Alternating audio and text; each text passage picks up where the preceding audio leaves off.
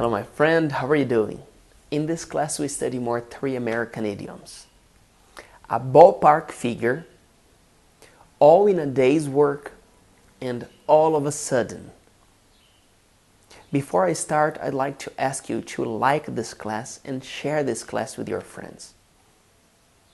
Alright, a ballpark figure, this is an estimate number, uma estimativa. You can tell me, Felipe, can you give me a ballpark figure on how many classes we have? I can tell you, yeah, a ballpark figure is about 700 classes. A ballpark figure, uma estimativa. Can you give me a ballpark figure on how much I spend on the weekends? Can you give me an estimate number, a ballpark figure? The other uh, idiom of this class is all in a day's work. All in a day's work means ossos do ofício. All in a day's work. Example, uh, explaining the vocabulary is all in a day's work for a teacher.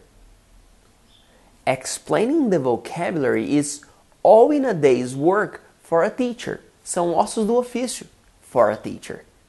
It's all in a day's work for a teacher. All in a day's work, ossos do ofício.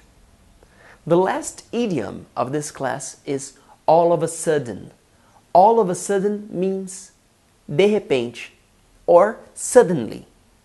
Example We were speaking English and all of a sudden your mother interrupted you. Suddenly De repente, your mother interrupted you. Another example I was running last week and all of a sudden I saw a car in front of me. All of a sudden I saw a car. Suddenly I saw a car. De repente. So remember the three idioms of this class a ballpark figure, mm, estimate number, all in a day's work ossos do ofício, and all of a sudden, de repente. So, if I have to give you a ballpark figure on how long you need to spend on each class, it's 10 minutes per class. It's all in a day's work for you to dedicate 10 minutes for our classes. Because you can't learn English all of a sudden. Go on our website check the options with certificate. Thank you very much. I'm Felipe Gibi. See you next class. In this class, we study more three idioms. Back to square one, be a still, and be all set.